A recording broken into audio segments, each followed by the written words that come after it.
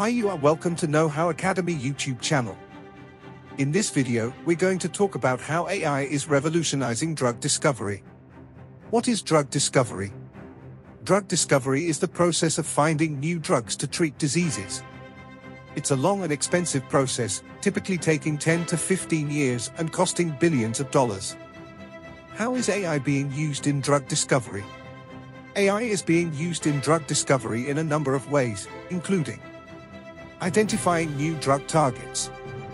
AI can be used to analyze large datasets of genetic and molecular data to identify new drug targets. Designing new drugs. AI can be used to design new drugs that are more effective and have fewer side effects.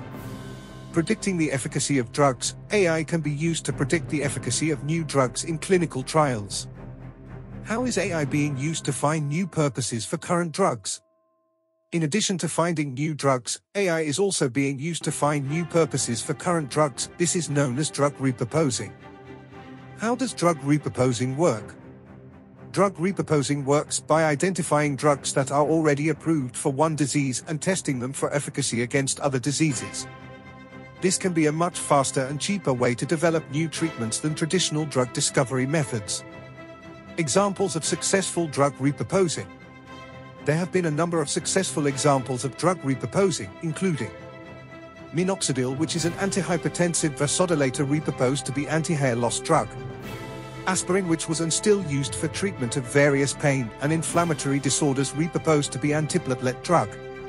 Another recent use of aspirin in the treatment of prostate cancer has also been reported. AI is rapidly transforming the field of drug discovery, with the potential to develop new treatments for diseases that have been previously intractable. Drug repurposing is one of the most promising applications of AI in drug discovery, and it has the potential to accelerate the development of new treatments for a wide range of diseases. If you're interested in learning more about how AI is revolutionizing drug discovery and pharmaceutical industry, I encourage you to First to subscribe to Know How Academy YouTube channel if you still not subscribed yet. Follow up Know How Academy page on LinkedIn, page link in description box. Check out the resources I've listed in the description below. If you're a scientist or researcher working in the field of drug discovery, I encourage you to consider using AI in your work.